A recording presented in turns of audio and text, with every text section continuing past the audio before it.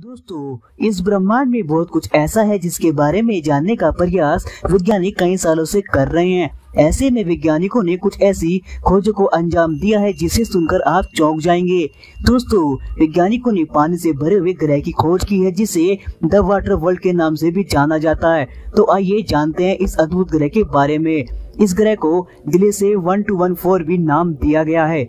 यह ग्रह हमारे सौर मंडल के बाहर मौजूद एक एक्सो में से एक है जो दिले से वन टू वन फोर नामक तारे की ऑर्बिट में चक्कर लगाता है और एक चक्कर लगभग अड़तीस घंटों में पूरा करता है।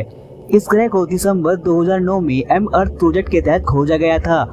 इस ग्रह को द वाटर वर्ल्ड नाम इसलिए दिया गया है क्योंकि इस ग्रह पर धरती नहीं, बल्कि पानी की बहुत अधिक मात्रा है। इस ग्रह का आकार हमारी अर्थ से तो बड़ा ही है और इसकी पृथ्वी से दूरी लगभग 40 प्रकाश वर्ष दूर है।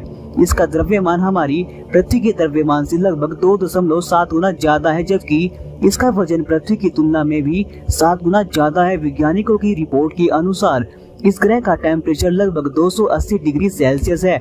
इस ग्रह के वातावरण में काफ़ी धुंध मौजूद है, जिसकी वजह से इसकी सतह को साफ़ तौर पर देखना काफ़ी मुश्किल हो जाता है। वैज्ञानिकों की माने तो यह ग्रह धरती के इतने नज़दीक है कि इसकी स्ट्रक्चर को समझने के लिए भविष्य में बहुत से मिशन भेजे जा सकते हैं, जिससे यहाँ जीवन की संभावना होने का पता भी लगाया जा सके। आज की वीडियो में बस इतना ही। मैं उम्मीद करता हूँ आपको वीडियो अच्छी लगी होगी। अगर अच्छी लगी तो प्लीज़ चैनल को सब्सक्राइब ज़रूर करें लाइक एंड शेयर भी करें।